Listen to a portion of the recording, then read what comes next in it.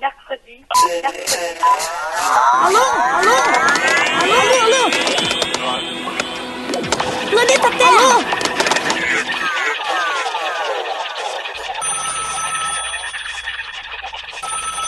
Alô, alô, seja muito bem-vinda. Começa agora mais um episódio do podcast Alô Ciência. Eu sou o Arnone Eu sou o Lucas Andrade. Eu sou o Jefferson.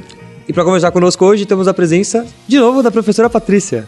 Alô, alô, alô ciência, alô pessoal, é um prazer estar de novo aqui com vocês. É, bom, as pessoas não são tontas nem nada, elas vão perceber que estamos com a Patrícia novamente. Somos a, a mesma constituição da mesa, então não vai dar pra segurar essa mentira por muito tempo. Estamos no mesmo dia. Estamos no mesmo dia, gravando dois episódios, mas enfim, lançaremos um e depois o outro, mas essa é a vida. Vai ficar imortalizado, então já era. Não, vamos fingir. Oi, sumida, tudo bom? Nossa, quanto tempo que a gente não se vê. Vocês mudaram, cresceram. Olha, professora, como você falou no final do, do último episódio, falou: ah, se vocês me convidarem, eu volto aqui. Então, o convite foi feito novamente, você voltou e está aqui conosco. Sim. Muito bem. Mas agora vamos falar de um tema diferente, né? Antes a gente falou no episódio passado um pouco de invisibilidade, como tornar as coisas invisíveis ou não. Agora vamos falar um pouco então de biomateriais, correto? Correto, isso mesmo. Mas, Apresente-se. pra quem não ouviu o último episódio, se apresente novamente, por favor. Muito bem, pessoal. Eu sou Patrícia Targon Campana, sou docente da USP Leste, o campus mais novo da USP.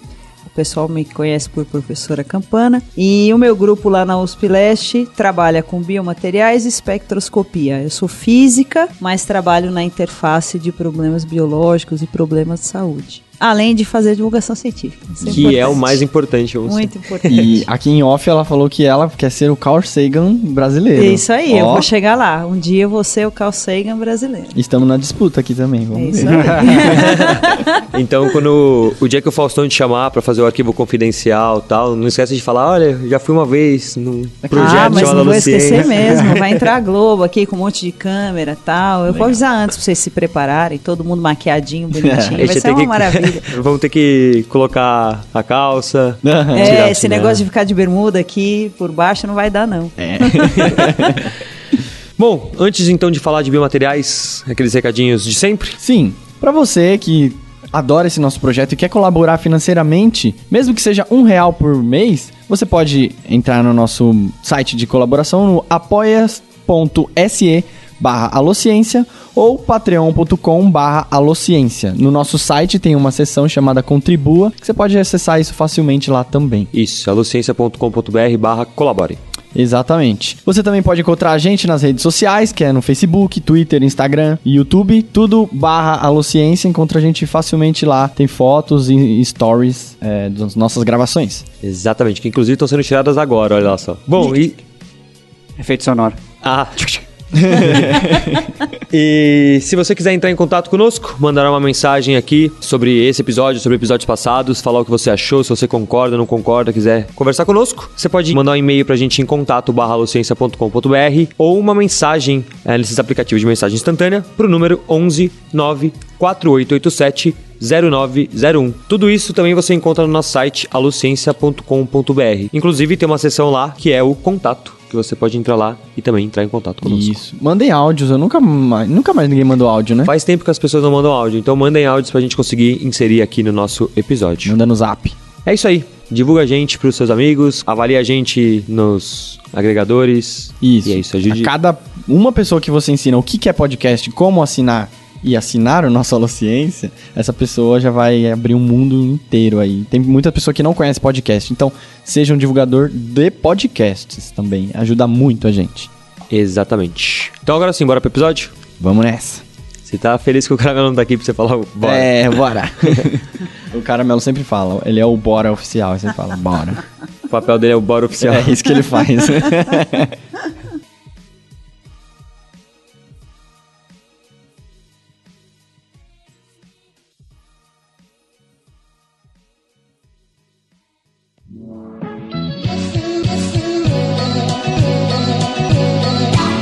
Bom, Patrícia, pra gente começar então a nossa conversa, aqui no nosso título, enfim, temos, vamos falar sobre biomateriais. Acho que nada melhor do que começar definindo então o que são biomateriais. Então, o que são biomateriais? Então, em geral, a gente pode definir os biomateriais como materiais de origem não biológica, então metálicos, cerâmicos, poliméricos, que prioritariamente não seja mesmo biológico, mas tenha aplicação biomédica.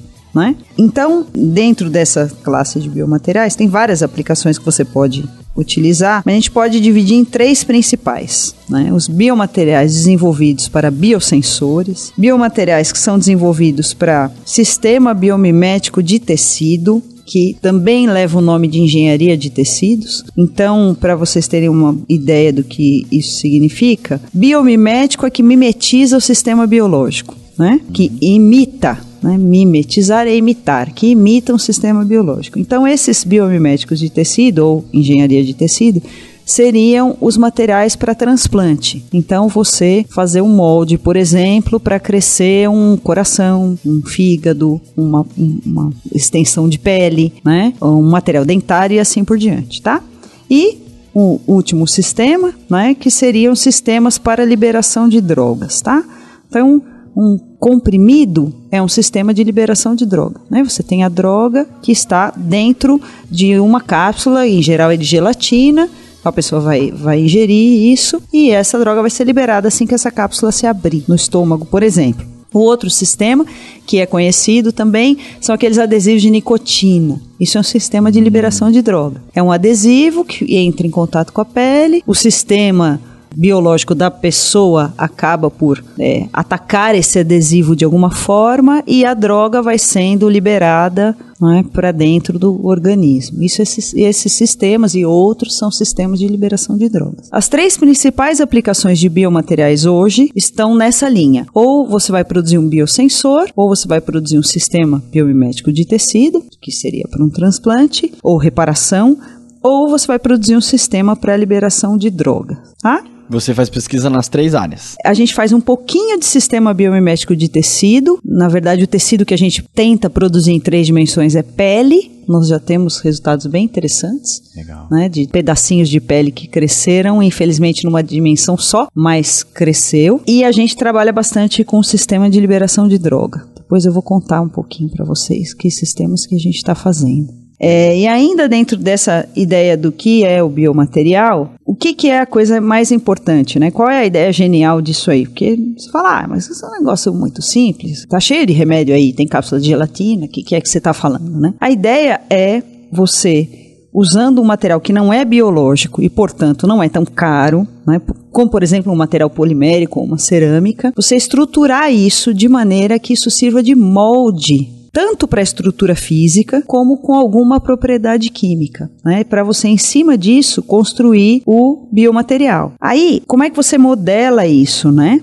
Se você estiver pensando num biosensor, por exemplo, em geral esses polímeros estão na forma de filme. Você faz um filme polimérico e aí você pode colocar um fio de ouro para uma detecção elétrica, né? Tem várias formas de você fazer um biosensor. Se você estiver pensando num sistema que vai imitar tecido humano, né, da engenharia de tecidos, tecidos biomiméticos, você pensa em modelar esse material, em geral é polímero que a gente usa, ou numa matriz porosa em três dimensões que fica parecendo um pedacinho de esponja, Uhum. né? Isso é um tipo de, de sistema biomimético. Ou você faz malhas de micro ou de nanofibras. Essas malhas ficam parecendo algodõezinhos, pedacinhos de algodão. E em cima dessa estrutura, que serve de base para crescimento de células, você consegue crescer um tecido né, sobre esse tipo de estrutura. Para a liberação de droga, em geral, você produz esses materiais poliméricos na forma de esferas. Depois eu falo um pouquinho para vocês numas novidades aí que tem de liberação. Mas em tese, né, se a gente for resumir o que, que é biomaterial, seria mais ou menos isso. Bom, então a ideia desse engenharia de tecidos é você fazer uma estrutura, que você falou que é igual a uma esponja, para células ficarem abrigadas, como se fossem pequenas casinhas 3D, né, essas células. Exatamente. Então a ideia é você fingir que é como se fosse um tecido real mesmo, que normalmente nos tecidos essa camada aí, essa esponja seria feita do quê? De colágeno?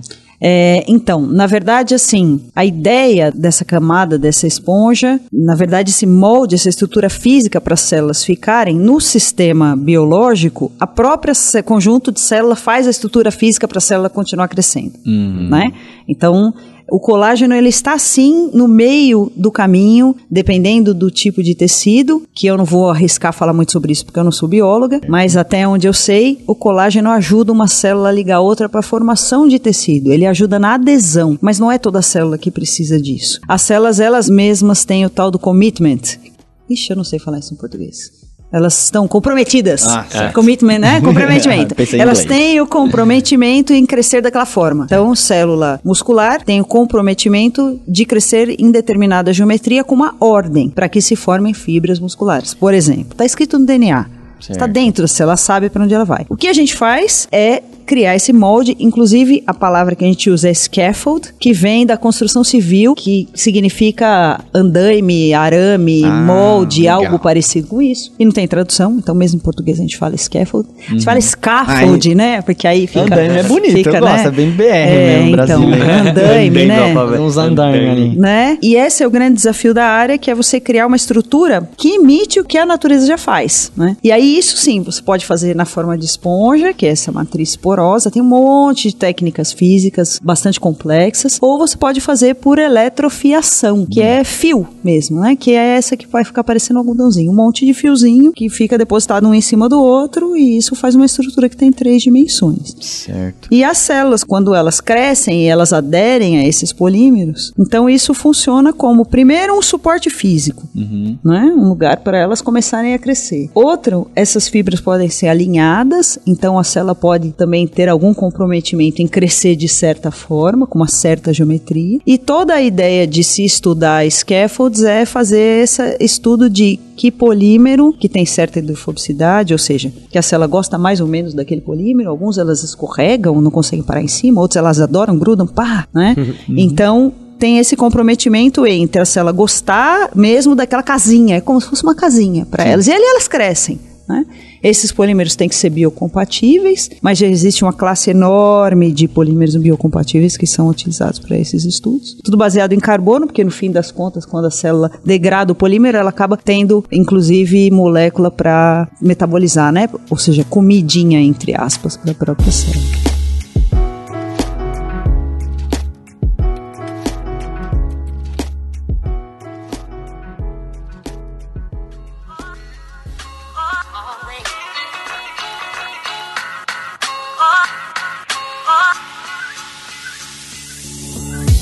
Então, Patrícia, deixa eu ver se eu entendi. Vamos supor então que alguém teve uma lesão na pele, uma queimadura, alguma coisa. Então você desenvolve esse biomaterial, que seria tipo uma estrutura no qual a pele poderia se desenvolver novamente lá? Isso, exatamente isso, né? Então, o primeiro artigo que a gente encontra no ISI, aquele lugar que eu sempre falo para vocês, né? Web of Science, a teia Web da ciência. Science. O primeiro artigo aparece em 67 com o uso de um biomaterial numa cirurgia ortopédica. Né? Então, a parte ortopédica e a parte de odontologia foram as primeiras a terem o uso desse tipo de material. Então, a primeira vez que aparece esse termo é em 65, mas eles chamam de biomaterial, é um material biológico mesmo, que foi preservado por criogenia. Então, essa a gente não conta como sendo o biomaterial. Mas em 66 apareceu o primeiro material não biológico, era um material metálico, que foi usado para uso biológico, né, para uso biomédico, e aí então foi cunhado o termo engenharia de tecidos. Então o que que dá para fazer? Vamos supor que a pessoa tem uma lesão, então você coloca esse esse scaffold sem nada, sem célula, sem nada em cima. E isso serve de entre aspas ponte para que esse tecido se feche, né? Mas se a lesão for muito grande, não adianta você colocar só o scaffold. E aí então você pode colocar com células, ou células de pele mesmo, ou célula tronco diferenciada, para que isso seja incluído à pele do paciente. Ou o coração, ou sei lá qual. E aí o objetivo então é que você coloque esse polímero para ajudar a fazer essa ponte para a pele crescer. E o objetivo é que depois então o corpo meio que degrade esse polímero e ele deixe de existir, fique só a pele lá no O lugar. corpo vai degradar. A gente fez um experimento no nosso laboratório na USP Leste, que depois de um mês, as meninas acabaram matando o conjunto de células, porque a gente precisava olhar no microscópio o que, que tinha acontecido ali. E quando eu fui olhar no microscópio eletrônico de varredura, nós tínhamos um monte de célula um tapete, chamamos inclusive tapete, de células de pele e embaixo cheio ainda dos fios do nosso scaffold. Então depois de um mês ainda tinha scaffold para chuchu. Um grupo com quem eu colaboro na Itália, eles chegaram a fazer um tecido de um centímetro quadrado de coração. E só depois de três, quatro meses é que não tinha mais polímero nenhum. A grande ideia é você colocar já uma parte das células daquele tecido que você quer reparar. Então, você faz o scaffold, você cresce em cultura no laboratório, de preferência com a célula do próprio paciente para não ter rejeição, e aí você implanta no paciente aquele pedaço do órgão que falta e espera que o organismo inclua aquilo como sendo dele. Vamos ver se eu entendi. Imagina que eu quero fazer uma orelha nova pra alguém. Aí eu vou lá. Pro Evander Holyfield. Orelha. Orelha, Como é, é que tá com o Pedro Van Gogh? E né? a- Fazer uma orelha. orelha nova, Aquele assim. corredor da década de 70 que se acidentou e perdeu as orelhas. Isso, quero fazer uma orelha da hora Né? nova pra eles. Então eu vou lá, faço uma impressão do scaffold, andaime, assim, que, em formato de orelha. Uma impressora 3D, sei lá, pode fazer esse tipo de estrutura. E aí eu vou ter que montar, pegar as células do tecido dessa pessoa, boto numa cultura em laboratório pra ela ir crescendo, e depois eu injeto essas células nessa estrutura que eu coloquei. Aí elas vão ficar alojadas nessa estrutura como se fosse morando dentro de uma esponjinha. Ao longo do tempo, elas vão começar a crescer, a, se juntarem, e aí elas vão ficar no formato certinho do scaffold que eu fiz. E esse scaffold ele vai se degradar e dar lugar para esse novo tecido que eu tava cultivando e deixando Em- no formato que eu queria, Em certo? tese, sim. Só que. Só que não dá. Não, em tese dá. O problema é que cada conjunto de célula, dependendo do lugar do corpo e de tipo de diferenciação, ela vai gostar de uma matriz polimérica. Então, não são todos os scaffolds que você faz em matriz 3D. Impressora 3D não consegue crescer scaffold de qualquer polímero. Tem al- algumas células que o sistema de esponja não funciona. Os poros dessas esponjas, às vezes, têm 50, 100 nanômetros. Só que uma célula, em média, tem 100 microns. É mil vezes maior. Aí a célula não entra no poro. Entendi. Se ela não entrar no poro, ela não vai popular, isso não vai ter três dimensões. Até porque a orelha não é formato só de pele, né? Tem cartilagem e tudo mais. Então, isso já seria uma complicação enorme para o problema. O que, que dá para fazer? É, dá para fazer um pedaço de coração, para você reparar um pedaço do tecido. Dá para fazer um pedaço de fígado, para você reparar um pedaço do fígado. Um pedaço de pele. Legal. Osso, Né? quebrou osso. dá Osso é o que mais se faz. Osso Ah, e é? dente é o que mais se faz. Legal. Né? Que começou a ser feito na década de 60 e 70. né? Então, ainda tem muita coisa para estudar. Ainda nessa parte de transplante, existe uma preocupação muito grande que é a seguinte: se você crescer a orelha inteira do jeito que você está querendo fazer, a hora que você implantar, o corpo vai rejeitar do mesmo jeito. Que já é um sistema pronto. Né? Então, existe um compromisso entre você entregar para o corpo uma coisa que está previamente preparada. Mas não é exatamente pronta, que é para ele entender que aquilo faz parte dele. Então, o que se pensa em fazer, por exemplo, você faz o- um pedaço de coração, como o grupo que eu conheço lá do- do- de Roma conseguiu fazer. Mas é, isso não tem vascularização. É isso que eu ia perguntar. Exato. Como eu faço pro sangue chegar Como lá? é que faz para vascularizar? Então, ainda não se faz muito bem. Então, você tem que crescer uma parte do tecido e que não pode estar totalmente vascularizada. Como é que você liga um tecido vascularizado no corpo? Você não liga, vai ligar vasinho por vasinho, costurar, não tem como.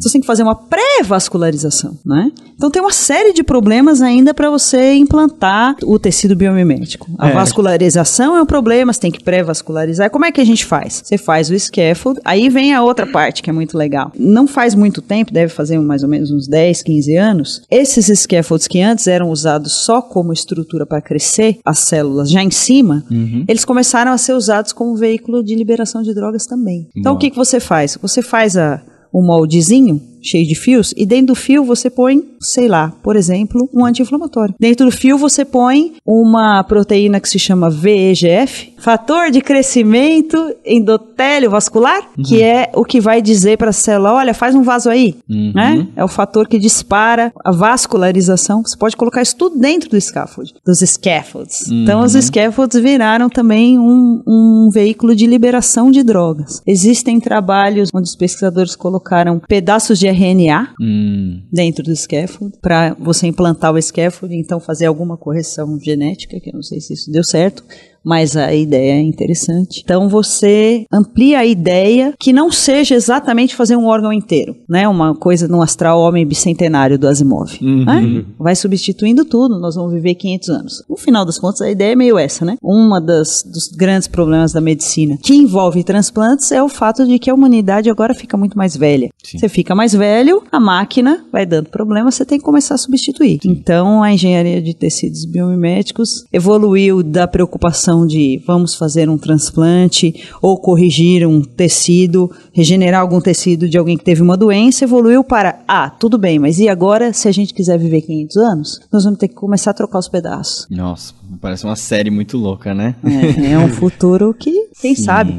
Eu vi um- uma reportagem que saiu, inclusive, num paper da Nature, que é de um grupo lá dos Estados Unidos, do Instituto de Medicina Regenerativa da Wake Forest, liderado por um pesquisador chamado Anthony Atala, que eles fizeram uma impressora chamada iTop. Já viu esse nome? Não tinha visto. Que é, que quer dizer Integrated Tissue Organ Printer. Então, é uma impressora. Achei que era um produto da Apple, tipo. é um produto top da Apple. Isso aqui é o iTop. iTop. Não.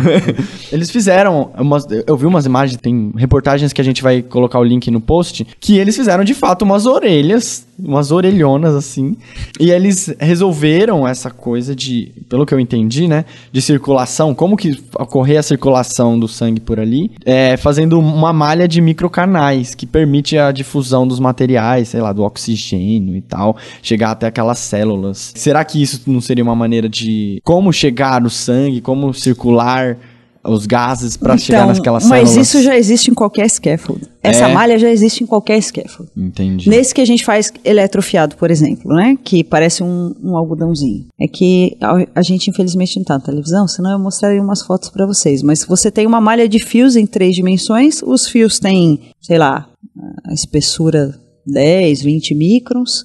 Alguns microns de distância entre um e outro, eles não estão encostadinho no outro. Você tem um monte de canais ali para circular o ar e líquidos, por exemplo. Tanto isso é verdade que a gente faz a cultura de célula em cima do scaffold com o scaffold dentro do meio de cultura. Entendi. E elas ficam vivas meses. Mas não é isso que é pré-vascularização. Pré-vascularização é você fazer vaso. Isso Eu não, queria ver se eles tinham vaso nessa orelha aí. não dá. Não dá ainda. É você picar essa orelha e ela sangrar. É. Esse é o ponto. É, eu sei não que eles sei se colocam- eles resolveram esse problema, mas pelo que você está me explicando, não. Eles colocaram em ratos, umas orelhas legais, diferentes Então, ratos. isso, Por isso orelha. dos ratos. Mas isso, isso tudo bem. Mas veja bem, o pobre ratinho, o sistema do ratinho, vai ter que induzir a formação de vaso dentro desse lugar onde só Sim. tem buraco de polímero. Então, essa. Muito bacana, tal, a impressora. Deve ser legal ver as orelhas, mas falando friamente do ponto de vista científico, eles não deram nenhum passo, nem milimétrico de avanço na tecnologia. E essa Porque impressora- continua não sendo vaso dentro da Sim. tal da orelha.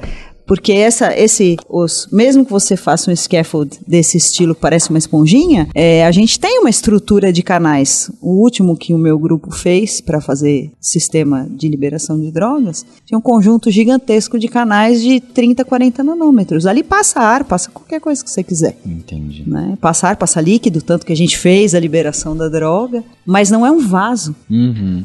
E ainda pelo fato da orelha ser uma, uma estrutura bem poucas dimensões, não é um- um- uma coisa globosa, né, grossa, É. circular, assim, maciça, acho que fica mais fácil de ocorrer alguma uma circulação aí, né? Não, então, mas a circulação vai ocorrer em qualquer um desses scaffolds, porque ele é esburacado que nem uma esponja. Uhum, ou na certo. esponja, ou quando é um conjunto de fios. As células crescem neles, mas elas deixam espaço, elas não crescem que vira um bloco de célula. Até pode virar, dependendo do tempo que você deixar ali. Mas mesmo que a gente faça, você semeia as células por cima ou por baixo pelo lado, vai sobrar um monte de buraco no meio. Esses buracos vão deixar passar ar e, e meio de cultura e líquido. Tanto passa que elas ficam vivas por muitos meses. O problema é, isto não é vaso. Quando você pegar esse pedaço de orelha de pele, seja lá o que for, e implantar num vivo, porco, rato, pessoa, o corpo do vivo vai ter que criar vaso lá dentro, vai ter que fazer crescer vaso. Entendeu? Esse problema não tá resolvido. Nem por essa impressora bacanérrima. Hum, Ai, top. né? Nossa, adorei! É, né? Vou começar a colocar aí nas minhas coisas. Quem sabe dá sorte, né? Cê- a cê não gente ganha um dinheirinho. A Apple patenteou tudo com AI na frente. Se É você mesmo? tentar o seu nome mudar pra Ai Patrícia, você tem que pagar pra Apple. que será que esses Sério? caras do laboratório, como é que se viraram pra fazer o tal da iTop? Ah, não, isso daqui é uma sigla. Aí começa com integrated, vai ter que mu- mudar esse Ah, tá bom, eu vou pensar em alguma coisa Né? então. E a gente também faz. Eu vou fazer uma sigla que começa com I, a gente também É, faz.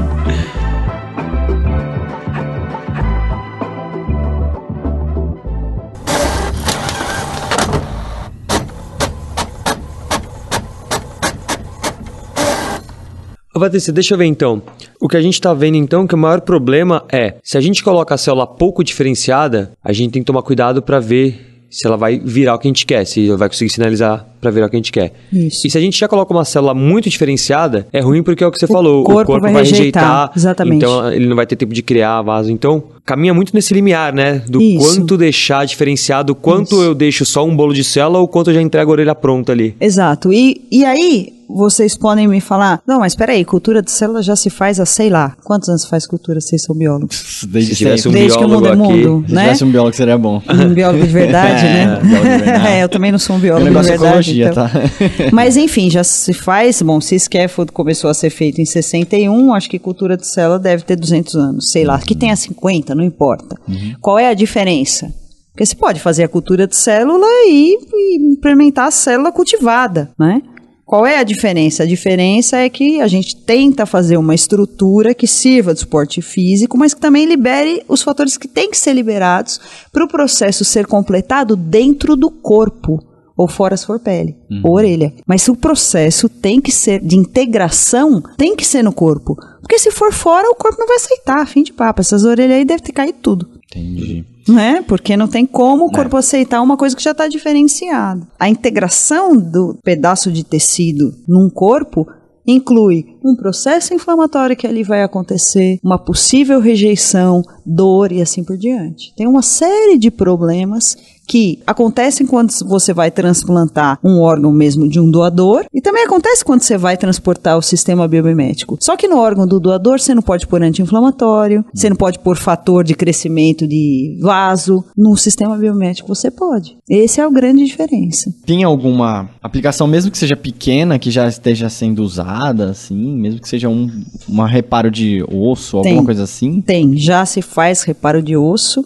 Tem muito scaffold feito com hidroxiapatita, que é um componente importante para crescimento de tecido ósseo. Então já se faz com é, implante tanto ósseo de osso esqueleto como da parte dentária. Isso já se faz. Ah, legal. Mas, por exemplo, olha, que- olha que coisa interessante. Gengiva é uma coisa que, quando você precisa de um implante de gengiva, ou você compra de bancos americanos, porque no Brasil a gente não tem, ou você tira de outro canto da própria pessoa. Ou seja, continua sendo como sempre foi. Né? Você tira da perna do pé, pra, do pé do cara para botar na mão. Enxerto. Alguma coisa parecida. O bom e velho enxerto. Aham. Né? Então, essa, por exemplo, é uma área que se tenta desenvolver. Se você consegue crescer o tecido em cima de um scaffold desse, você coloca como se fosse um band-aid. Né? Legal. Mas, mas se tem sim para ortopedia e odontologia, já tem bastante coisa feita. Assim. Isso funcionaria, por exemplo, para pessoas que estão com osteoporose? Por exemplo, você induzir crescimento de osso? Ou pelo fato da pessoa já estar com esse problema? Não, isso funcionaria sim para osteoporose. Ah, legal. Funcionaria. O problema é que teria que ser localizado, né? Uhum. Uma pessoa, se ela não tem osso no fêmur inteiro, você teria que fazer um recobrimento no fêmur. Eu não sei o quanto isso seria possível, ou mesmo seria interessante. Talvez usar o scaffold como sistema de liberação controlada de drogas seja uma coisa mais promissora atualmente, né? Imagine se você tiver um sistema, que é um sistema, um molde físico, que aprisiona a droga e faz com que ela seja liberada em por exemplo. né? Uma vez por semana liberam tanto. Para doenças crônicas, por exemplo, Nossa, isso é uma uma diabetes maravilha. para liberar insulina. Diabetes, câncer, doenças crônicas. Eu fico imaginando, seria uma. Toda vez que você tá falando dessa coisa de liberação de drogas, eu penso num- numa pílula que ao redor tem esse scaffold. Seria É, isso? podia ser. Esse, esse sistema já existe. Então, por exemplo, existe, existe um sistema. Eu não sei se foi testado em um ano já, não sei dizer. Mas o artigo não saiu faz muito tempo. Deve ser um artigo 2000 e 13, alguma coisa assim, onde foi construído um sistema que libera quatro pulsos. Então, eles fizeram quatro estruturinhas, criam umas conchinhas, assim. Pegaram a droga, puseram numa cápsula. Outra cápsula em volta, outra em volta, outra em volta. Quatro.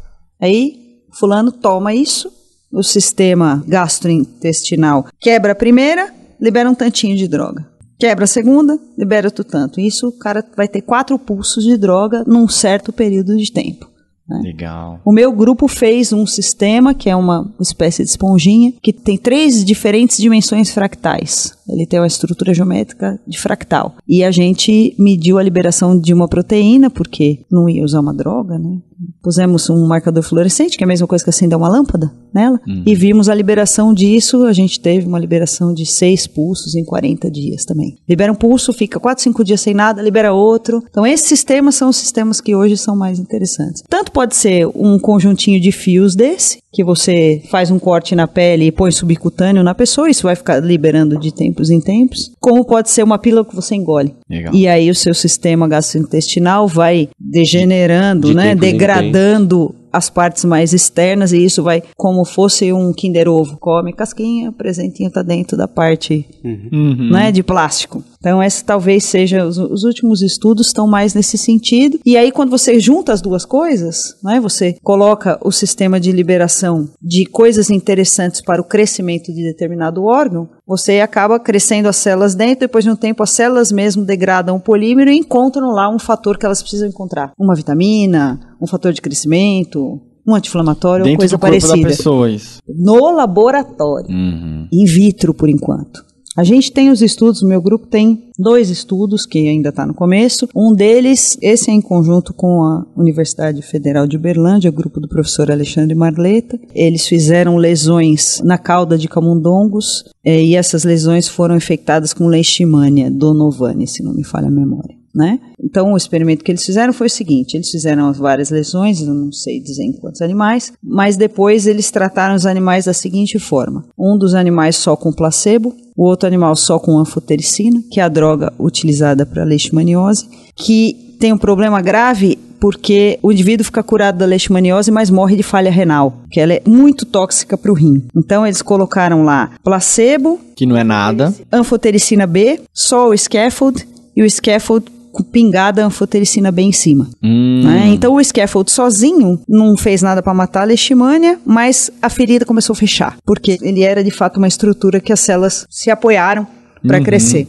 E o scaffold com a anfotericina fechou mais rápido e os bichos não tiveram nada no rim, pelo menos por enquanto, porque a liberação pelo scaffold é muito lenta, né? Se você joga a droga direto na ferida, aquilo cai na corrente sanguínea, metade mata a leishmania, a outra metade mata o bicho, porque vai parar tudo no rim Entendi. né? Então, mas é interessante porque esse sistema serviu das duas coisas. Ele serviu para dar a droga em doses menores para que o bichinho não tivesse falência renal e serviu de estrutura física para que as células novas pudessem crescer ali em cima e começar a fechar a ferida. Legal. Então, mas isso ainda é modelo animal, uma coisa, né? Nós precisamos repetir esse, esse Explicar pra humano. Replicar. Não, tem que replicar nos bichos ainda. Eu não quero nem ver essa parte de humano, que tá muito longe já do que eu faço. Mas é, se Deus quiser, alguém chega lá. Ainda em humano, pelo menos aqui no Brasil, eu acredito que não tenha ninguém fazendo. É, eu vejo uma grande importância aí da liberação de drogas, e não é a liberação da maconha que eu estou falando. Ah, é verdade, né? alguém, te- alguém precisava explicar isso, né? É, não, liberação de drogas, nossa, vamos falar de política aqui. Não, não é isso. Eu vejo uma importância nesse tema de liberação de drogas, tipo assim, você acha que futuramente, né, quando isso estiver bem desenvolvido, a gente não precise, por exemplo, tomar esses remédios a cada, sei lá, 12 horas, simplesmente tomar uma pílula com essas estruturas, né, no qual o princípio ativo vai estar dentro dessa estrutura e ele vai se autoliberar dentro de você mesmo. regularmente, É isso mesmo. sem você ter que ficar lembrando de tomar esse A remédio. ideia é essa. Algum, já existe, isso já existe, né? Existe anticoncepcional, Sim. que a, a mulher faz uma é, subcutâneo. Existe esses PET de nicotina, né? Esses adesivos de nicotina e tal. Isso daí já existe. Legal. né? Mas isso precisa ser refinado. Precisam ter novos sistemas. Legal. né? E principalmente você ter esse sistema que cura e repara ao mesmo tempo, que esse é o mais interessante. Mas a ideia é essa, né? A gente, na era da informação, né? Agora com a internet das coisas. Então você imagina que é um velhinho, né, que tem que ficar lembrando de tomar o remédio. Não, você pode fazer um chip, que você bota o chip no velhinho, junto com o scaffold, com a droga, e o celular do velhinho controla o chip para ver se está liberando direito. Se não liberar direito, já avisa o médico, avisa o filho do velhinho e tal. Eu, quero ficar assim. Eu tava Eu pensando não quero lembrar porque, de nada, é, eu Animal. quero ficar assim, desse jeito, quando eu ficar velhinha. é, meu, meu avô, é, ele toma muitos remédios, né? Já tá, tem 80 e tantos anos. E aí outro dia eu fui na casa dele almoçar, e aí ele tava falando, putz, não lembro se eu tomei o remédio de manhã. É, tá vendo? Na hora que você tava falando isso, eu tava lembrando, olha, É, que então. interessante. Meu avô ia agradecer. É, a então. ideia é essa, a É ideia porque- é essa. Para as pessoas que tomam um inflamatório quando tem, enfim, uma dor em alguma coisa, não percebe. Enfim, não só pessoas idosas, mas pessoas que têm que tomar 8, 10 comprimidos por É, dia. Que tem doenças crônicas, é. né? Não tem. Então isso seria uma coisa interessante. Mas acho que juntar isso com o reparo do tecido é talvez a coisa mais É o- legal que a gente Sim. possa É a humanidade fazer, né? caminhando para viver para sempre. Exato. Sim, não vamos fazendo. conseguir, porque aí a gente ia violar a segunda lei da termodinâmica, mas isso pode ser assunto de uma próxima entrevista. episódio. Inclusive, quando acabar esse episódio, a gente vai gravar esse agora. E aí vamos lançar daqui a algum tempo. Ah, Patrícia, você voltou! Dessa vez não tem. Sim. Ou será que tem? Ou será que Vamos ver. Só um comentário, a Patrícia agora falou um pouco do tratamento de placebo. Isso me lembrou que a gente gravou um episódio, que foi o nosso episódio número 21, que foi sobre efeito placebo, que a gente recebeu aqui. Excelente o Bruno. Gualanda, foi um dos melhores episódios. Ele falou por mais de uma hora, assim, muito bem sobre o que é placebo e várias utilidades e usos do placebo. Então, vale a pena a lembrança desse episódio aí. É, você teve dúvida, tipo, ah, o que que é placebo? A gente não explicou de propósito, vai lá ver. Tempo Só queria fazer um adendo aqui, que eu tava lendo sobre o artigo da orelha aí. E aí eu acho que a grande sacada que os caras fizeram nessa impressora é conseguir construir uma impressora que imprime a estrutura, o scaffold, ao mesmo tempo que coloca as células no lugar É, onde isso eles sim, querem. Isso sim. Então acho que esse foi a Isso- grande sacada. Isso é uma que grande eles- sacada. Que fizeram. Isso é, Ah, legal. isso Por sim. isso que é top. Por isso que é top. Isso que é top.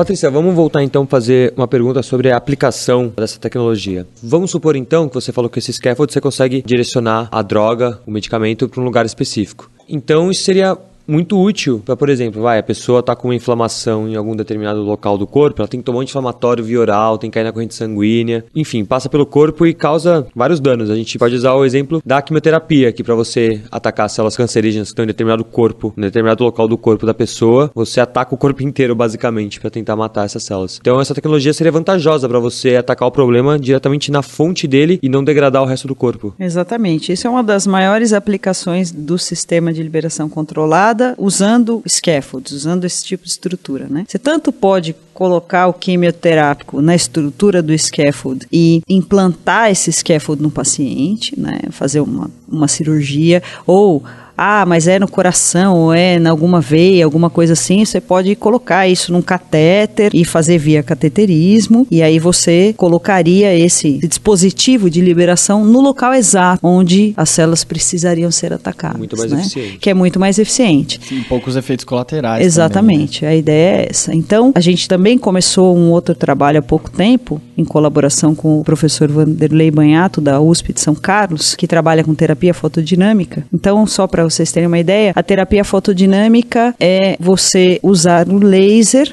né, no comprimento de onda, na cor que ele consegue entrar no corpo, sem causar outro tipo de dano, para excitar uma molécula, né, para iluminar uma molécula que vai provocar a formação de um componente químico, de uma espécie química chamada oxigênio singleto, que é uma espécie que é muito reativa. Então, esse tipo de espécie é capaz de quebrar a membrana de, das células e fazer com que essas células entrem em processo de morte. Então, você não quer que isso aconteça na célula né? Tanto que nós temos proteínas no nosso corpo, todos os animais têm, até fungo tem. Fungo não é animal, né? Eu- Não, não.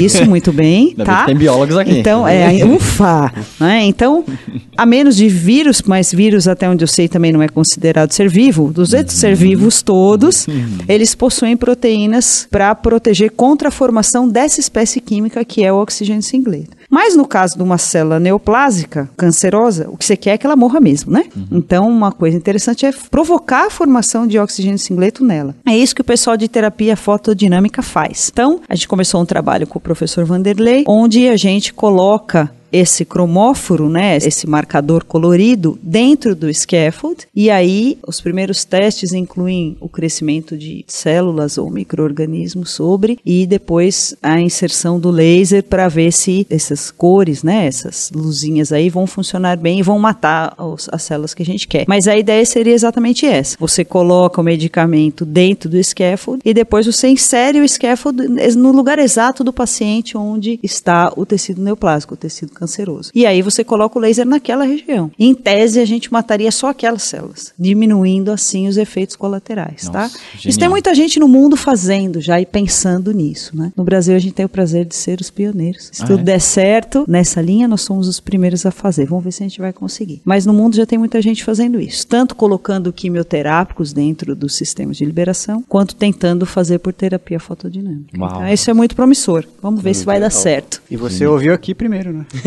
Não é? Com exclusividade. É aqui. isso aí, é o furo jornalístico do Aluciência. Exatamente.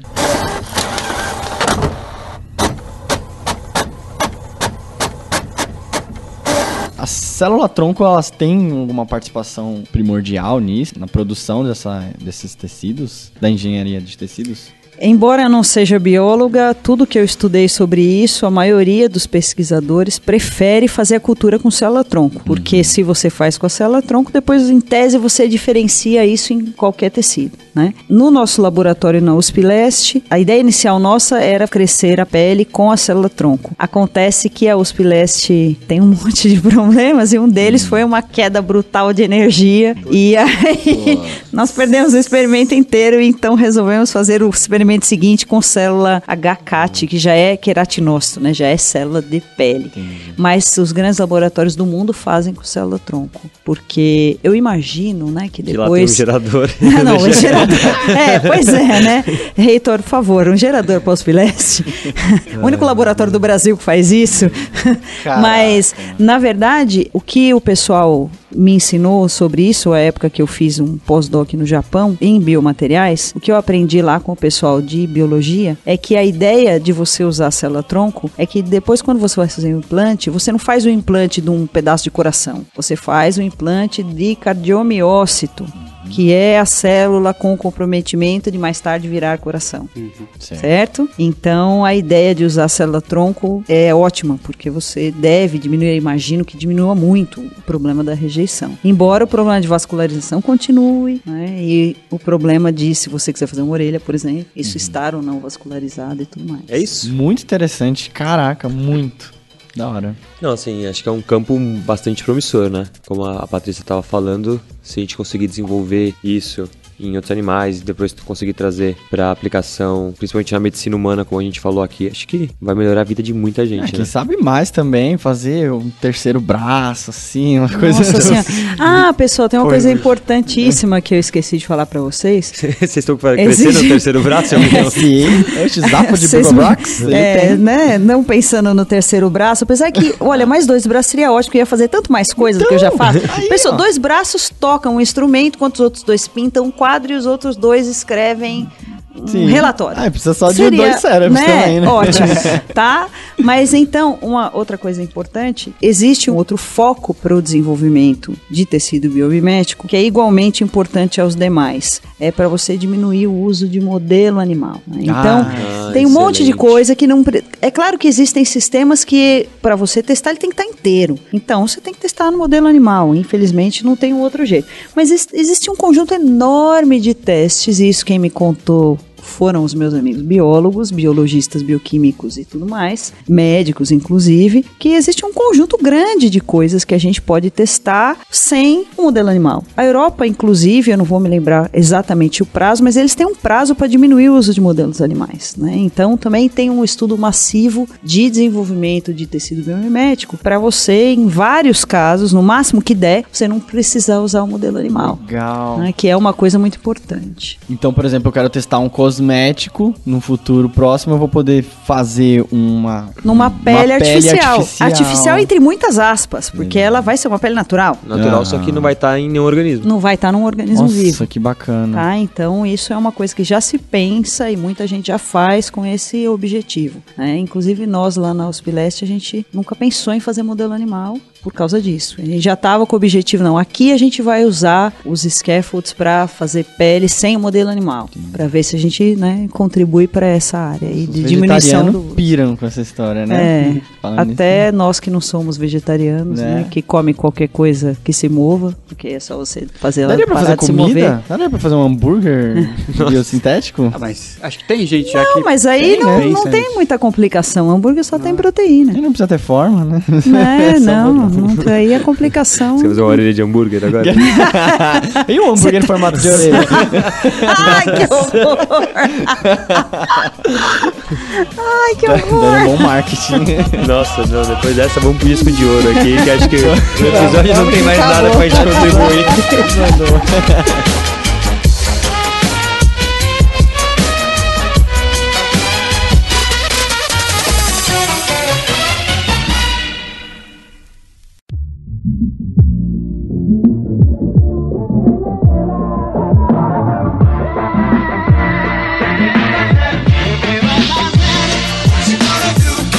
Bom, continuando aqui, vamos pro nosso disco de ouro, aquele momento que a gente dá dicas de coisas que a gente mandaria pro universo e deixaria como contribuição da humanidade. Patrícia, quer começar? Eu quero, hoje, hoje eu quero começar. Olha, meninos, então, a primeira dica do disco de ouro, na verdade, é quase uma continuação do que a gente está falando aqui, né? Então, lá na Hospileste, as minhas colegas que são professoras da disciplina de nanomateriais, elas criaram um canal chamado Nanoeashi.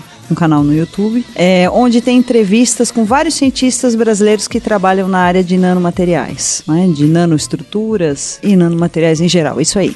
Só- Nanotecnologia, na verdade. Nano são materiais muito pequenininhos, né? É. Muito diminutos. O, o muito pequenininho é sempre legal a gente dar uma ordem de grandeza, né? Então é 1 dividido por 3, 6, 9. Mil, milhão, trilhão. É 1 dividido por 1 trilhão, né? Pra gente ter mais ou menos uma ideia do quão pequeno isso seria, né? Então, esse seria o canal do YouTube. E aí, mudando agora para parte cultural, eu queria dar a dica do filme, quem não viu ainda, A Forma d'Água, que ganhou o Oscar, né? Tem que ver, porque apesar de eu não quero entrar no mérito de se cinematograficamente mereceu ou não o Oscar, é um filme lindo, muito sensível, a parte gráfica é impecável, né? E o Guilherme Del Toro é um diretor muito agradável, para falar o mínimo, né? Então, acho que vale a pena assistir A Forma d'Água. Ainda na história de assistir, eu me lembrei, durante a entrevista, de uma série que está no Netflix. É uma série catalã que se chama Merli. Ah, Vocês já boa. viram, meninos? É do professor de filosofia? Do professor de filosofia. Sim. nós Então é educação. sensacional, é, exatamente. É sensacional essa série. Você acaba aprendendo um pouco de filosofia. Bem dirigida, os atores são excelentes. E eu reparei uma coisa que vale a pena comentar. Diferente das séries americanas, que a gente consome muito, eu adoro, né? Não, não falando contra, mas eu achei que essa série, talvez por ser europeia, mostra adolescente do jeito que adolescente é. Os meninos realmente têm problemas de meninos, né? Fazem guerra de água na escola, estão preocupados, as meninas querem saber se elas vão casar, os meninos estão preocupados em transar, e é isso aí, né? Sem muito bullying, tem gordinho, tem mais magro, tem negro, tem branco, tem gente alta, baixa, tem bobalhões, estupidamente bobalhões, então achei que Legal. o retrato da adolescência é uma coisa muito realista, muito menos estereotipado do que o modelo americano que a gente está acostumado a assistir. Eu assisti É, um achei que pouco vale muito a pena. dessa série e eu senti que ela é o House, só que versão professor. Ah, sim, né?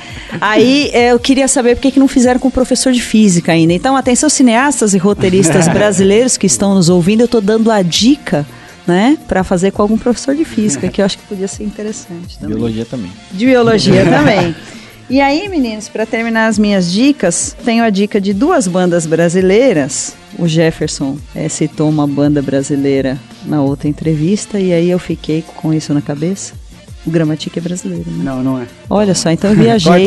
Então eu não sei se vai ter que corta cortar esse pedaço, porque eu não lembro o que que, o que, que me levou a... Enfim, Não, mas o Lucas falou de uma de um cara brasileiro. Ah, é Falei verdade, você falou Marechal. do rapper Isso. brasileiro. Do então rapper foi que- isso. Do rapper que não tem música. ah, é verdade, é o rapper que não tem música.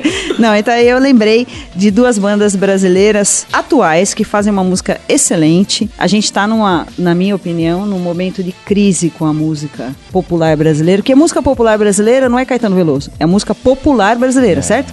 Tudo bem, a gente chama de movimento música popular brasileira, música popular da década de 70 e 80. Mas não é de todo verdade, é o que é popular. Eu vou falar de duas bandas muito boas, que fazem uma- um som muito bom. Uma delas, inclusive, tem um naipe inteirinho de metais, que eu não vou lembrar qual das duas que é, mas vale a pena ouvir.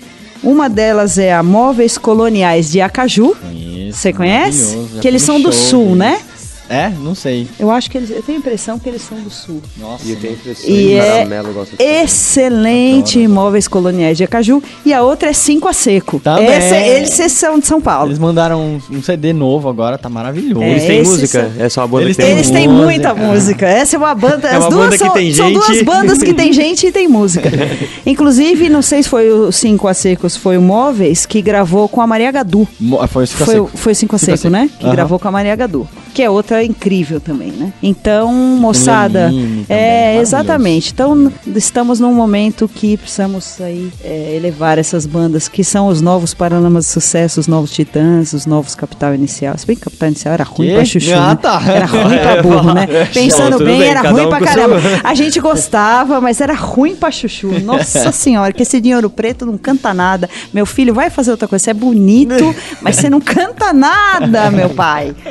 Certo, Nossa, menino? mas o deles fãs. fez muito sucesso, né?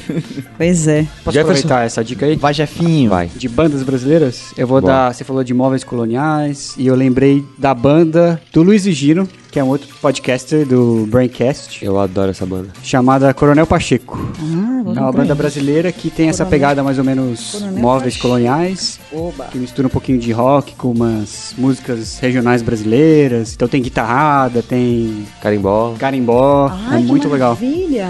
Esse Tem- carimbó eu adoro. O CD novo deles tem bastante carimbó. E é isso. Essa, a banda dele é muito legal, já ouvi al- algumas músicas. Minha namorada gosta bastante. Beijo, Aline. Um beijo pra ela. eu, eu recomendo aqui a música que eu tava vendo agora no site deles, Fast Fashion. É, tem bem o ritmo. É, bem, gostoso. bem carimbó. Bem carimbó. é. Eu gosto muito de. Sofia. Sofia eu não ouvi, eu acho. É aquela da, que eles falam da Sofia Coppola. Mas É vou ouvir, muito vou ouvir. E aí, minha outra dica que eu tinha planejado é um outro podcast também, chamado Invisibilia. É um podcast em inglês. Terceira vez já que a gente fala dele. É mesmo? É, nossa, mas essa? vai. Não, mas é que agora eu vou dar da nova temporada. Ah, Voltou, eu não voltou. ouvi a, a nova. Ah, eu quero falar. É de um- maravilhoso Eu esse quero podcast. falar de um podcast. Venha outra vez esse papo. é, droga, Não, a gente perdi volta, a a gente volta, a gente chance. volta. Não, eu, eu espero um dia a gente chegar aos pés do Invisibilia, Não, fazer um Invisibilia storytelling é- que nem eles, velho. É muito foda. Então, ele é um podcast mais ou menos sobre psicologia. É a terceira vez que a gente tá É, recomendando mas, aqui. mas pode falar, pode falar. Quem ouve já, já deve saber, mas eles voltaram agora com uma nova temporada. Então eles estão começando a lançar episódios agora. Eles estão no segundo episódio dessa nova temporada deles, que eles dividem por temporada. E eu tava ouvindo hoje o primeiro, não terminei de ouvir ainda, mas já tá bem, bem legal, assim. Bastante coisa pra pensar. Legal. É em inglês, mas veja na velocidade menor. Eu, eu ouço assim, na minha velocidade menor dá pra ouvir. É bom, bom pra estudar inglês. Aprende, né? É, e além de conteúdo, o valor de produção, assim, deles é. Eles falam, eles falam mais lentamente também, é bem legal. É muito bem narrado. Patrícia, você quer dar o seu É, sua eu dica queria de podcast? voltar porque minha dica de podcast não tem nada a ver com a dica que o Jeff acabou de dar. Mas é uma das novelinhas de podcast, porque não tem mais novela de rádio, mais interessantes que eu já ouvi na vida, que é Welcome to Night Vale. Ah, Ah, já ouvi ouvi falar. falar. Nossa, eu nunca ouvi Ah. falar. É de... É, ele- eles... É de ficção. Eles comentam no Invisibilia que existe esse Welcome to é, Night Vale. é, é, é, a ideia, em geral, é a seguinte: é um, um país de ficção, uma cidade, na verdade, nos Estados Unidos, no meio de um deserto que obviamente não existe, que se chama Night Vale. E é, tudo que você pode imaginar de mais esquisito e fora do que a gente entende como sendo mundo real, está lá dentro. Então tem o, o Dog Park, que é um parque para passear com o cachorro, que ninguém entra para passear com o cachorro, e que tem um portal que vai para uma outra dimensão, Ah, que que sai numa casa atrás de um armário de alguém. Nossa. E aí tem a, uns anjos que descem lá de vez em quando para conversar. Tem a Faceless Woman, Old Woman, que é uma senhora sem rosto, que também é um dos personagens. E assim E por diante. eles vão então contando várias histórias a cada Tem episódio. várias e, e aí a história se passa dentro da rádio. Então tem a rádio de Night Vale. O radialista é apaixonado pelo cientista da cidade que é o Carlos. Hum. Né, que é o cientista que fica tentando descobrir esses mistérios todos. legal. então é de ficção, é bem divertido, é inglês também, mas É dá pra ouvir. Legal. Bom, a minha dica são duas coisas. Uma é uma série, na verdade é um anime, mas me lembrou muito essas ideias que a gente tava falando agora, que o nome é Full Metal Alchemist. Ele é bem conhecido e fala sobre essa coisa de construir o ser humano a partir dos elementos. E é muito interessante esse anime, porque ele fala sobre até onde vai a ciência, tem várias contestações em relação à ciência que eu acho muito, muito válidas. Como que a ciência pode lidar com o religioso, com a natureza. É lindo, assim. O único problema é que é um anime. Então, ele tem umas piadas de anime meio chatas, assim. Mas é isso aí. Tem no Netflix, vejam. Full Metal Alchemist Brotherhood. E outra... É também uma banda brasileira e é não só brasileira, não só de São Paulo, mas do meu bairro, Ah, que legal.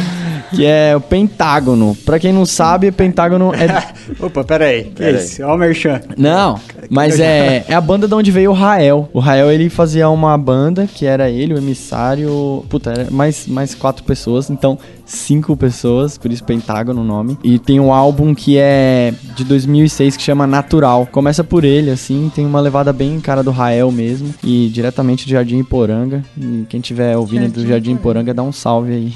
Ele é maravilhoso, cara. Pô. a caravana de Jardim Poranga. Mas é isso aí, quer ver a raiz do Rael, tá lá no Pentágono, tem no, tem no Spotify. Massa. Que é correção. Você já viu Fullmetal Alchemist? Você Eu não tive Japão, lá, estômago, né? morei. Eu não tive estômago pra ver inteiro, porque como tudo que vem da cultura japonesa, eles colocam um peso muito grande no que é culpa do humano, né? Que isso vem de shintoísmo, budismo e tal. Ah. Então é pesa eu achei muito pesado, não consegui assistir. Mas eu assisto muito anime. Muito, Ah, é? muito, muito, muito. que legal. Assim, vários. Eu assisto em japonês. Eu vi. E agora eu tô começando a pôr a legenda em japonês pra ver se eu evoluo um pouco. Olha, mas tá que legal. embaçado as coisas, cara. Mas é, Full Metal é bem bom. É, bem bom. Eu não dei conta é de uma ver, mas que quem sabe quando eu ficar mais. pois é. Uma mulher que fez. Hiromu Arakawa, o nome dela. Muito bom. Ah, as mulheres são boas pra caramba de anime, viu? Sim. Tem um, um grupo grande de mulheres japonesas. É, eu não conheço, só ela que eu conheço. de- Ah, você não assistiu Sakura, nem. nem Então- Tsubasa Chronicoro. Tsubasa Suba- Chronicles, que é Chronicoro. Ah, sim, sim. Não. Tsubasa também, é tudo mulheres. São, como é que são quatro mulheres, na verdade? Elas têm. Ah, Ex- Ex-Holic é delas e. Sailor Moon. Sailor Moon não. Cowboy Bebop. Não.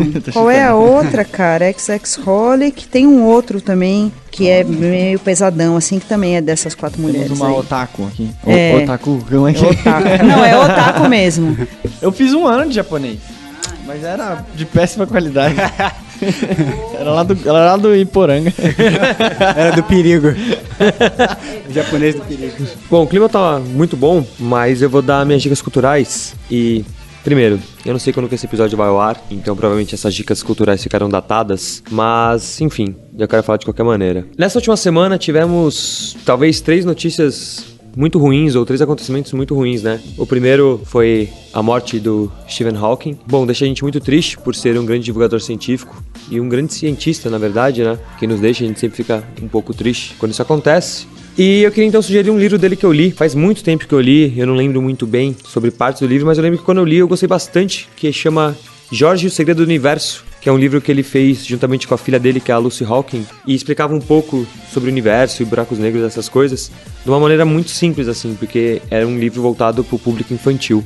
Então eu não li O Universo Uma Casca de Nós, não li esses outros, mas esse aí, Jorge o Segredo do Universo, eu li e lembro de ter gostado bastante. Então fica aqui uma dica do livro do Stephen Hawking. De novo, eu não sei quando esse episódio vai ao ar, não sei nem se a gente talvez tenha lançado coisas nesse meio tempo, mas fica aqui a lembrança. Uma outra coisa que aconteceu nessas semanas agora, uma coisa que me deixou com um certo orgulho, assim.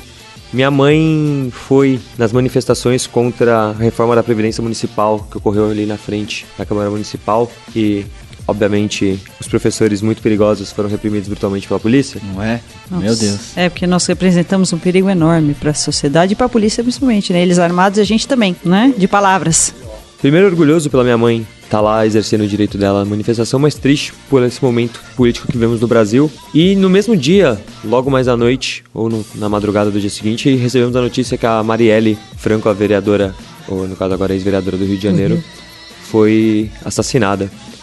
Então, enfim, vi muita gente falando várias coisas nas redes, socia- nas redes sociais. E, de fato, pessoas são assassinadas todos os dias. E isso é muito triste. Mas se você não consegue entender o símbolo que representa uma mulher negra da favela, vereadora responsável por investigar, enfim, abusos policiais sendo assassinada, aí isso é meio grave, né? O símbolo que representa não, não pode ser apenas mais um número.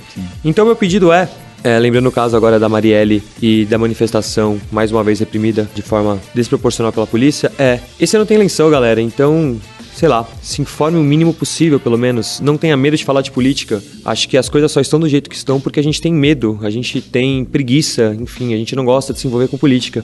Mas enquanto a gente continuar com isso, as coisas vão continuar do jeito que estão. Então, exerça sua cidadania e, enfim, corram atrás dos seus direitos políticos e não tenha medo de levantar suas bandeiras e lutar pelo que você acredita. É triste quando uma pessoa morre lutando pelo que acredita, é como se todo mundo que acredita na mesma coisa morresse um pouquinho também. Então é isso. Essa é a minha dica. É, eu sei, deixou o real. clima um pouco pesado, Importantíssimo. mas cara. acho que a gente tinha que, que Não, falar a aqui um pouco a gente disso. Não, tem- mas é num país onde a democracia faz do voto um voto obrigatório, né? Então, a gente tem sérios problemas sobre política, né? Profundos problemas, na verdade, que começa com a gente, com o povo.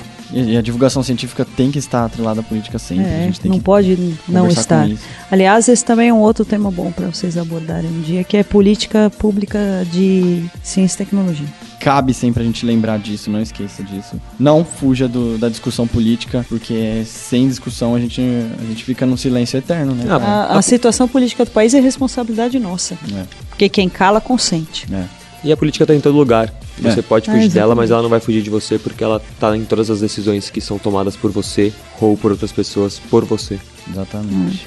Muito Bom, bem lembrado. não queria deixar o clima chateado agora no final, porque o episódio estava muito animado. Então, Patrícia, novamente agora agradecer sua participação. Muito obrigado por vir aqui conversar conosco hoje. Eu que agradeço e podem me chamar sempre. Adorei. Adorei esse episódio e o outro também. Vem aí, super E agora vamos começar a gravar o terceiro. Vamos aí, Só que não. Até a Acho que morte. por hoje deu, uma sexta-feira. A gente tem mania de gravar sexta-feira, né, galera? Ah, mas é Sexta-feira, bom. né? Legal. Vamos beber agora. Bom, mas é isso. Obrigado, Patrícia, novamente. E bora pra caixa de mensagens, então. Bora. Bora. Falou.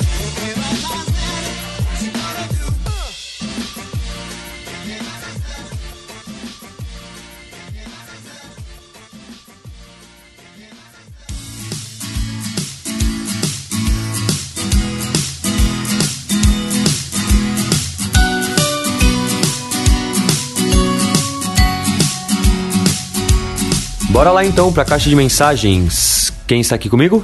O Marx, um pouco ausente nos últimos tempos, mas estamos aí, né? Final de semestre todo mundo dá aquela É. ausentada. Exatamente. Bom, a primeira mensagem que a gente tem aqui na nossa caixa de mensagens veio do Renan Mateus. Na verdade, essa mensagem já tinha sido enviada antes e a gente optou por deixá-la para um próximo episódio, que, e por isso que está sendo lida só agora. Ela diz respeito ao episódio de ilusionismo, que foi o episódio 42. Isso. O Renan diz o seguinte: Como chamar uma pessoa que escreveu mais de 450 livros e que dedicou a vida inteira para a caridade e mau caráter? Meu único sentimento de decepção, perdão, mas essa foi demais para mim. Ele tá se referindo a quando a gente fala do Chico Xavier no nosso episódio de ilusionismo, né? Exatamente, é. Eu mesmo que fiz esse comentário. E eu entendo a mensagem do Renan. Na verdade, foi a única que a gente recebeu, mas não foi a única que eu recebi, não só a respeito desse episódio, mas a respeito de algumas posições que eu tenho em geral.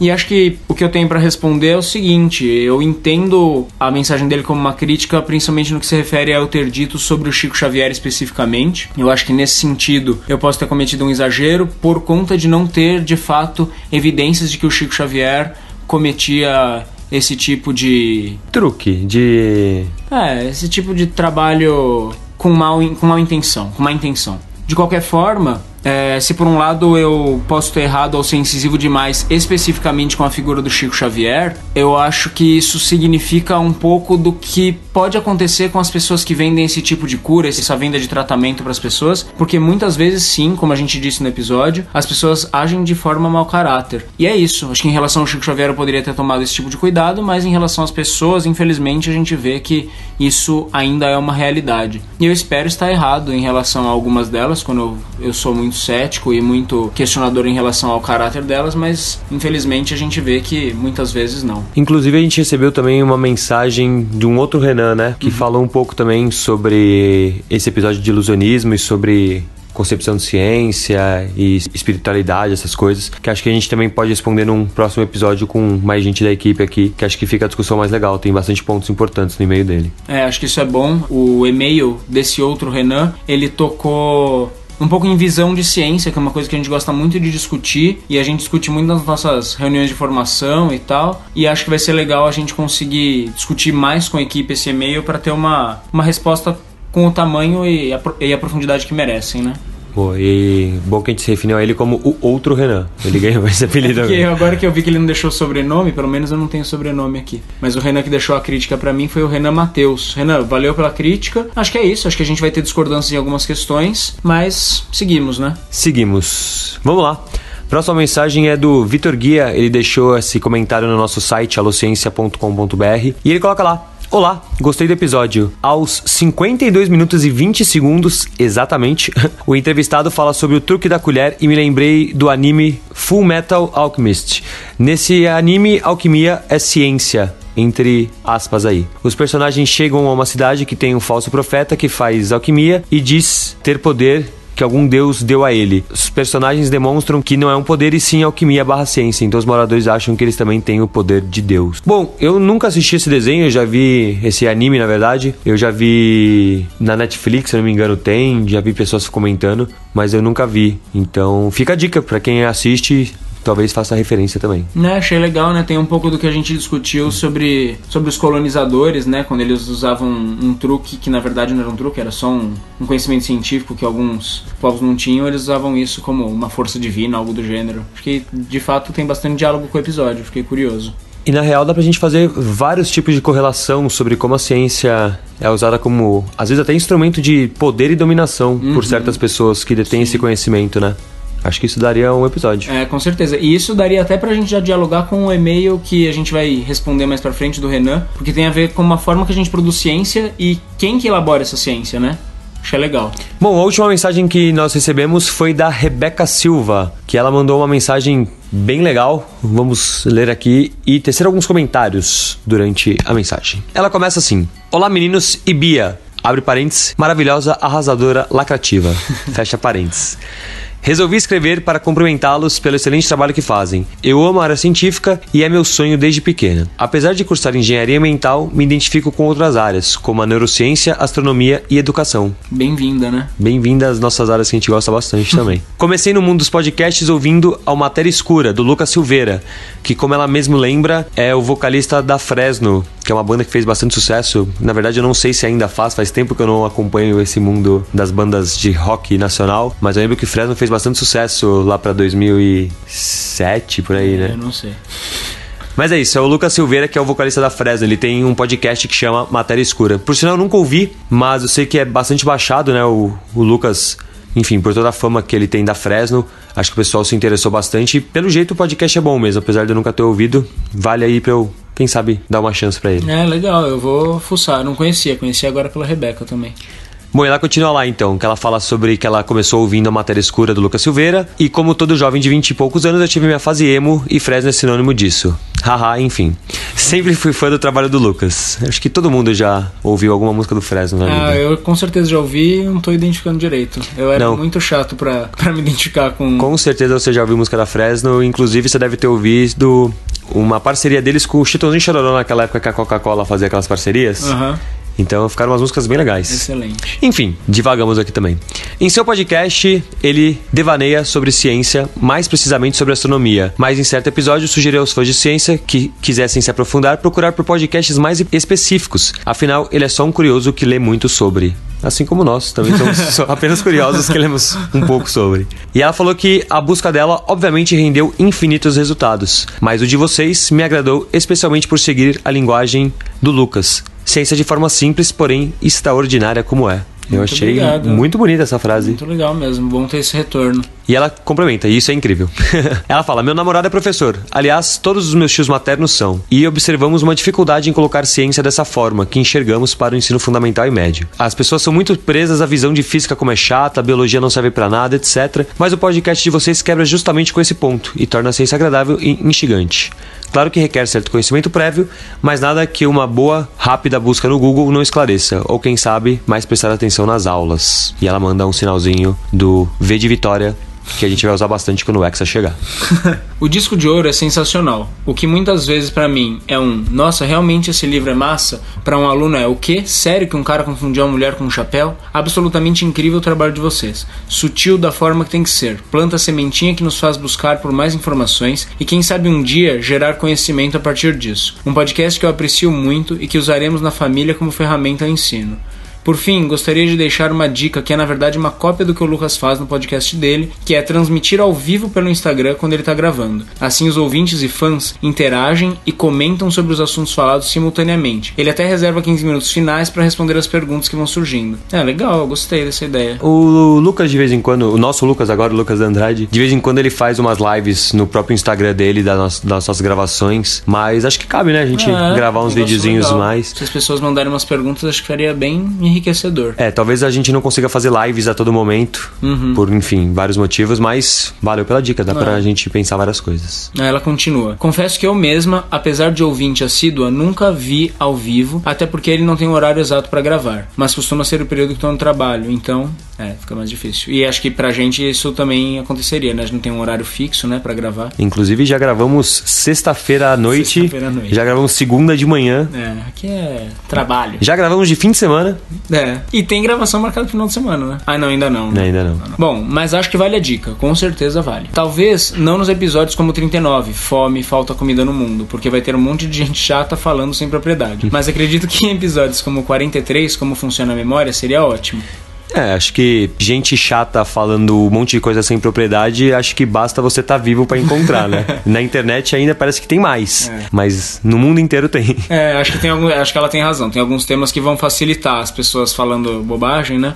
Mas acho que tudo bem, porque se falarem bobagem, a gente faz a censura. Às vezes quem tá falando bobagem somos nós, né? Então é bom que eles já Eles falam, "Ah, Marcos, É. falou bobagem. Errou!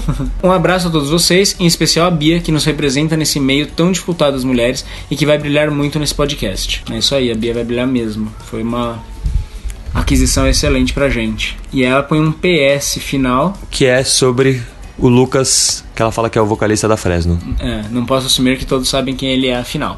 KKKKK. E é legal que você vê que realmente ela é fã porque ela coloca a vocalista da Fresno. Geralmente as pessoas falam do Fresno. É, nada como saber o que tá falando. né? É. Bom, Rebeca, muito obrigado pela sua mensagem. Acho que você colocou várias, vários pontos, tocou em vários pontos muito legais. A gente fica muito feliz de saber que você utiliza o nosso podcast no meio da educação com seus alunos. E a gente fica muito feliz também de saber que você curte nosso trabalho e que gosta do disco de ouro, né? Às vezes as pessoas acham que ah, o disco de ouro é só a gente falando qualquer coisa. A gente se prepara bastante pra pegar uma dica legal, né? É, não é, não é só da cabeça, não. E é isso, obrigado. Acho que é o tipo de mensagem que aquece nossos corações, né? Faz o trabalho fazer sentido. Faz. E fico muito feliz que ela tenha achado a Bia maravilhosa, arrasadora, lacrativa. a gente ficou muito feliz também. Tanto ela quanto a Camila é bom pra dar uma força nessa parte feminina do nosso podcast. E também a Patrícia, né, que participou desse episódio. Agradecer novamente a professora Patrícia, que contribuiu bastante pra esse episódio. É isso então. Muito obrigado a todos. Eu acho que é isso, valeu. E eu não quero deixar esse episódio datado, porque daqui a algum tempo você pode ouvir e, enfim, vai ficar datado. Mas queria só deixar o recado que o Hexa segue mais vivo do que nunca. Até mais. Valeu!